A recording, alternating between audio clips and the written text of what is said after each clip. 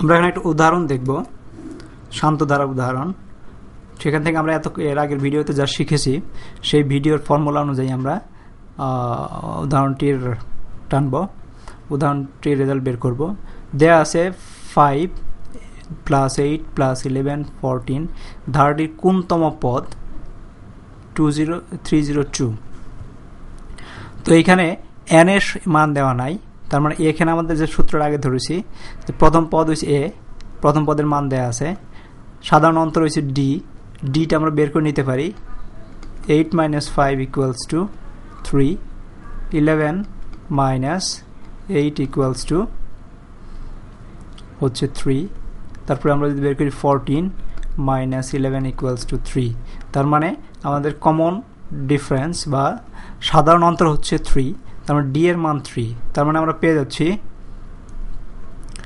a equals to five d d এর মান আমরা দেখলাম ডি ইকুয়ালস টু থ্রি তো এখানে আমাদের আটতম পদ বের করতে হবে। মানে কোনতম পদ সেই পদটা দেওয়া হয় নাই। সেই পদটা কত সেটা দেওয়া আছে বা কিন্তু কততম পদ সেটা নাই, সেটা আমাদের বের করতে হবে। তো এই ফর্মুলা অনুযায়ী যদি যাই, তাহলে হচ্ছে আরতম পদ হচ্ছে আরতম পদ। হচ্ছে থ্রি জিরো টু তো r equals to a plus r minus one into d তো আর দেয়া আছে আর এর মান দেওয়া আছে, এখানে আর সমান সমান দেওয়া আছে থ্রি জিরো টু তার মানে three zero two equals to a দেওয়া আছে ফাইভ প্লাস আর তম পদ দেয়া আছে, তম পদ দেয়া আছে থ্রি জিরো টু এখানে আর এর মান আর আর আটতমের মধ্যে পার্থক্য আছে। আর তম হচ্ছে যে সংখ্যাটা বেরোবে সেটা, আর আর হচ্ছে যে স্থানটা, সেই স্থানটার মান। আরটা আমাদের বের করতে হবে r minus one into d দেওয়া আছে আমাদের থ্রি তার মানে আমরা পেয়ে যাচ্ছি, আমরা যদি এখন সমাধান করি, তাহলে এটাকে নিয়ে যেতে পারি। আর মাইনাস ওয়ান এটাকে নিয়ে আসে এই পাশে into three five three zero two minus five এটাকে এই পাশে নিয়ে আসলাম আর ফাইভটাকে এখানে নিয়ে আসলাম। তার মানে হচ্ছে আমরা r minus one equals to three zero two minus five হচ্ছে two seventy nine divided by এটাকে থ্রি এ পাশে নিয়ে এসে পড়লাম। তার মানে হচ্ছে আর মাই আর ইকুয়ালস টু এটাকে যদি আমরা কাটি তাহলে আসে নিরানব্বই আসবে।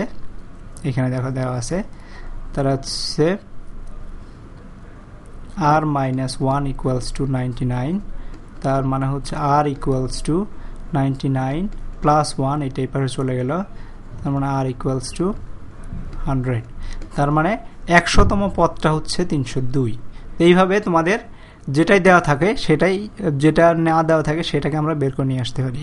তোমার যদি এ এ না দেওয়া থাকতো, শুধু ডিফারেন্স দেওয়া থাকতো তম এই আর এর মান দেওয়া থাকতো, এবং এটা দেওয়া থাকতো, তাহলে আমরা প্রথম সংখ্যাটা কি হবে, সেটা বের করে নিয়ে আসতে পারতাম।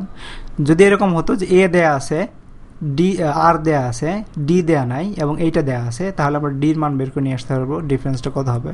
সাধারণ অন্তরটা কত? তো এইভাবে যে কোনো অঙ্ক আসলে আমরা করে নিতে পারব। তো তোমাদের সবসময় মনে রাখতে হবে এই ফর্মুলাটা।